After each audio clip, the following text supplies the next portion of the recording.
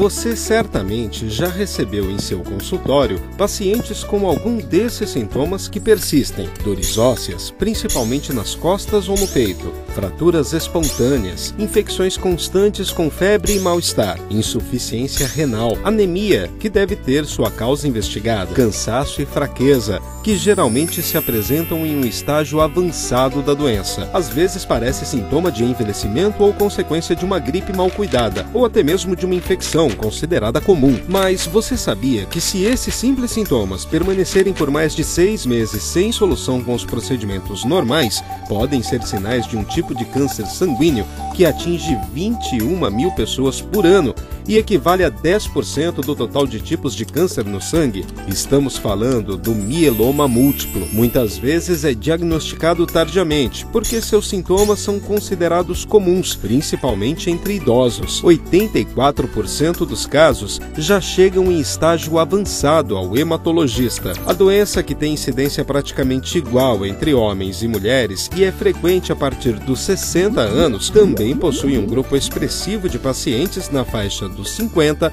40 e até mesmo dos 30 anos. Atinge a medula óssea e, apesar de afetar os ossos, tem origem nas células plasmáticas. Não tem cura, mas tem tratamento eficaz, principalmente se o diagnóstico for precoce. O tratamento consiste em quimioterapia, radioterapia e transplante de medula óssea. As causas ainda são desconhecidas, portanto, a prevenção não é possível, mas a diferença na qualidade de vida do paciente pode ser